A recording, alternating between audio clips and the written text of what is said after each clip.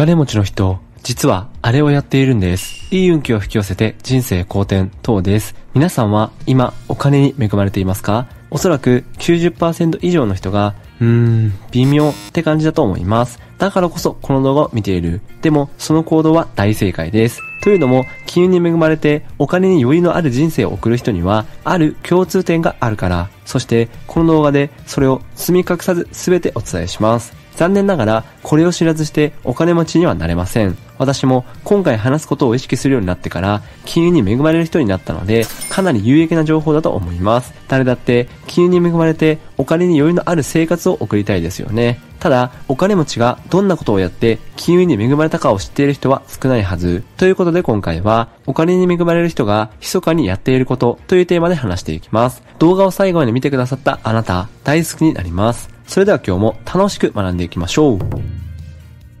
金運がいい人もいれば、良くない人もいます。ここでは、金運に恵まれない、お金が寄ってこない人の特徴を3つ厳選してご紹介します。当てはまっていないか、ぜひ確認してみてください。1、時間を無駄にする人。時間を無駄にする人、いかがでしょうあなたは時間を無駄にしていませんか？会社なんかだと9時から仕事が始まって17時ぐらいには終わりますよね。ただ中にはその時間いればいい、その時間座っているだけって方がいます。では、こういう人たちはその一日何をしたのでしょうかこうやって日々時間を無駄にしている人たくさんいますよね。主婦の方でも今日はこれをやろうと決める人と朝子供がいたら子供を送ったし、弁当も作ったし、もうやることないやと言って気づいたら夕方みたいな人がいると思います。こういった時間を無駄にしている人には残念ながらお金は寄ってきません。当たり前ですが、お金が寄ってくるかどうかは行動するかどうかにかかっていますからね。2、自分のことだけしか考えない人。仕事をしてお金儲けをしようという人に多いですが、自分だけ潤えばいい、自分だけ儲かればいい、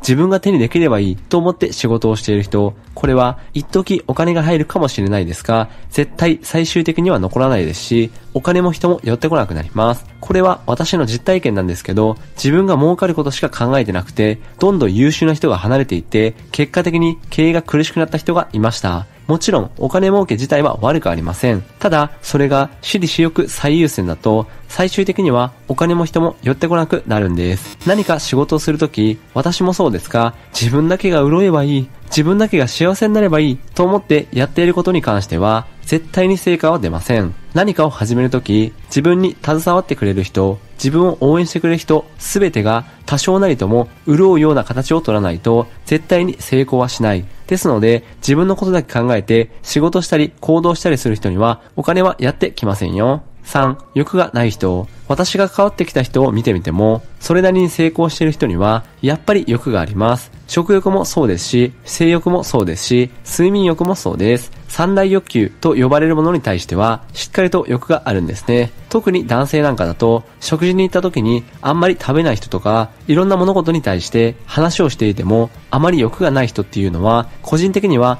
あんまり先が見込めない人だな、というふうに思ってしまいます。欲があれば成功するっていうわけではないですが、行動するために欲って必要だなというのが本音です。ということで、1、時間を無駄にする人、2、自分のことだけしか考えない人、3、欲がない人、この3つに当てはまった方は、今日から改善しましょう。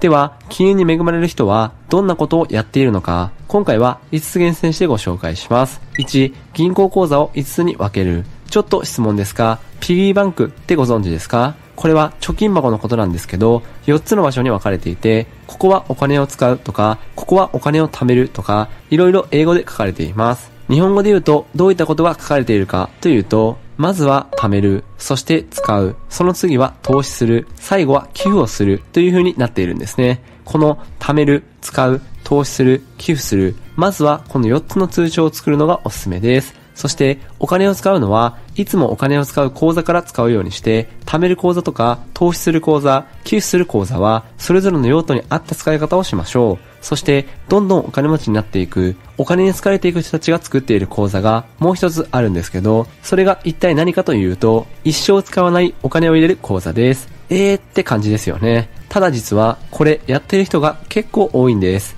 なぜこんなことをしているかというと、お金があるところにお金が集まってくるという法則があるからなんです。なので、お金がないところにお金が来ない、お金があるところにお金が来やすいっていう風に考えると、使わないお金が一定以上溜まっていくことで、そのお金に引き寄せられて、どんどんお金の巡りも良くなるんです。これがどんどん幸せになっていく、裕福になっていく人たちの心の中の状態なので、ぜひ実感する意味を含めて、使わない口座を作ってみるというのがおすすめです。というわけで、貯める口座、使う口座、投資する口座、寄付する口座、そして使わない口座、ぜひこの5つの講座を作ってみてください。2、マイナス言葉を発しない。過去の動画でも繰り返し言っていますが、言葉には注意が必要です。これまでたくさんの方に会ってきて思うのが、例えばお金がないという言葉をよく口にする人はずっとお金がない印象です。これは当たり前だのクラッカーで、お金がない、お金がないと日頃から口にすることで、お金がない自分にさせているんです。実際私も20代前半で借金をしていた時は、お金がない、お金がないと言っていたんですけど、言わないようにしてから少しずつ機運が上がっていたので、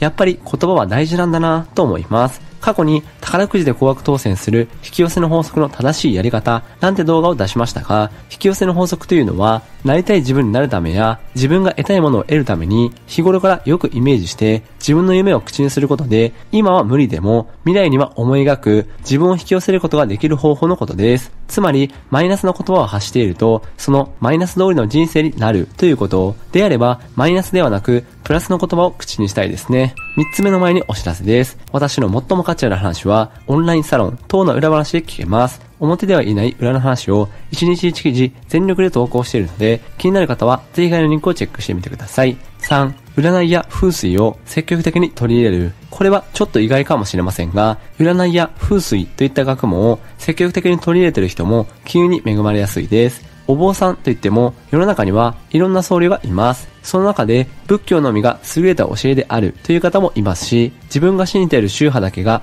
優れているとか、それこそ占いなんてと思う方もいますよね。ただですね、占いであっても仮想や風水であっても、人々を幸せに導く素晴らしい学問であると私は思っています。もちろん、仏教だけが優れている教えだとも思っていませんし、信号宗だけが一番だとも思っていません。すべての教え、学問は、どれも優れているんです。YouTube を見ても、住まいを良くするために、風水を取り入れた暮らしを提案しているチャンネルがありますよね。これは本当にすごくいいことで、こういった学問というのは、それこそ仏教並みに長い歴史があって、また深い英知の結晶なので、一つの教えにとらわれるのではなく、積極的にどんどん吸収していくことをお勧めします。私もオンライン上で電話やテキストで占いをしてもらったことがありますが、今後の方向性を確認できたり、悩みを解決できたりと、いいこと尽くしでした。占いの結果通りに人生が行くわけではありませんが、一つの情報源として頭に入れておくのは賢いと言えますね。私も実際に利用したここならの電話占いやチャット占いが今なら最大30分無料でできるので、興味がある方はぜひ概要欄リンクからチェックしてみてください。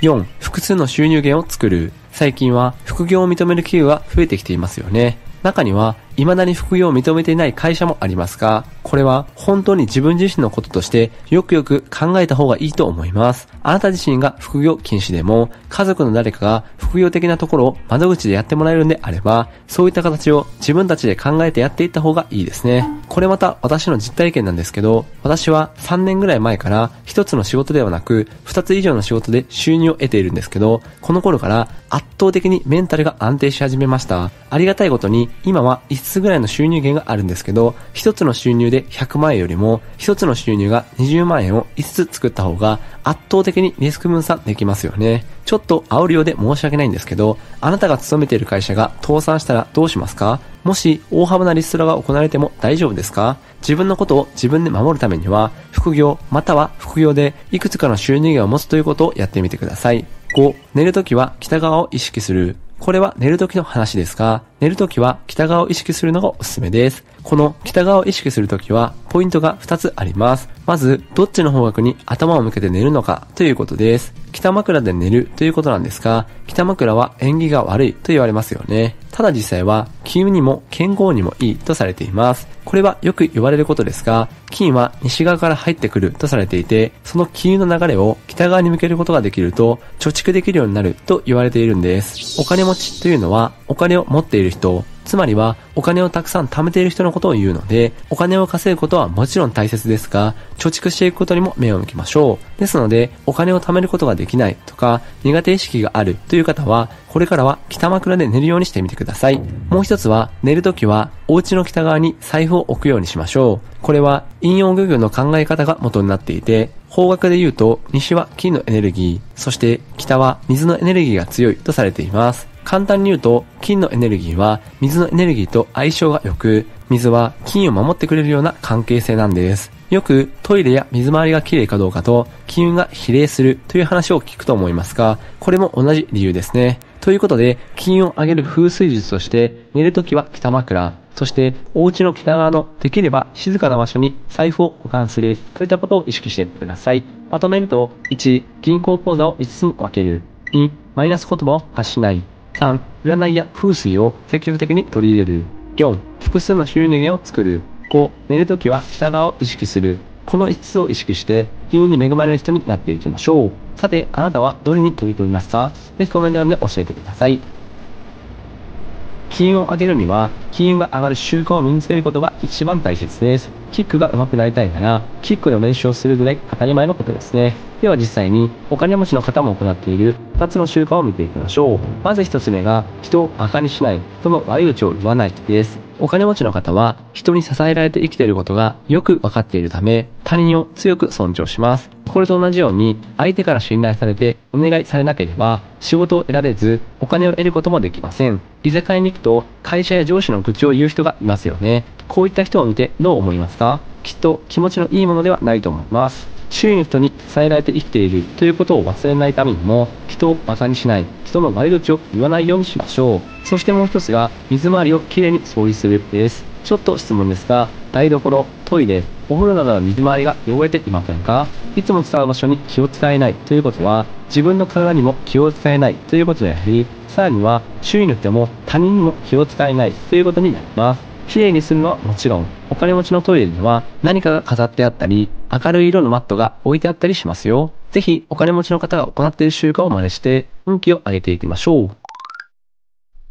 AI のおかげでめっちゃ仕事がはかどります。今は週1で AI 勉強会になるものに参加しているのですが、毎週どんどんレベルアップしてる感じがして楽しいです。それと同時に、やっぱり勉強って大事だなぁと実感しています。時間とお金をどこにかけるかは人それぞれですが、やっぱり投資に時間とお金を使った人がどんどん金運を上げていくんだなぁと思っています。運気引き寄せチャンネルは、運気や引き寄せを学びたい方のためのオンラインサロンを運営しています。運気アップや引き寄せは難しいと思っていませんか？でも実は、金運を上げたり引き寄せたりするのには明確なコツがあるんです。それに気づかずに生活していると、1年経っても何にも起こらないなんてことがリアルに起こってしまうんですよね。そこで、このサロンでは、運気や引き寄せのノウハウをみんなで学ぶために、こういった5つの特典を用意しています。私からの直接アドバイスももちろん OK ですし、今、このサロンに参加した人限定で、お金のマインドブロックを解除するおぽのぽの、これを無料でプレゼント中です。実際、1ヶ月で人生の3大目標の一つを達成した方や、職場の人間関係を引き寄せた方、さらに、たった3ヶ月で臨時収入を400万円手にした方なんかもいます。ただ、運気や引き寄せは簡単ではありません。本気で学ばないと成果は絶対出ないので、心から運気を上げたい、いい未来を引き寄せたいと思っている方のみお待ちしております。ぜひ一緒に運気や引き寄せを学んでみませんか？ということで、さよなら、さよなら。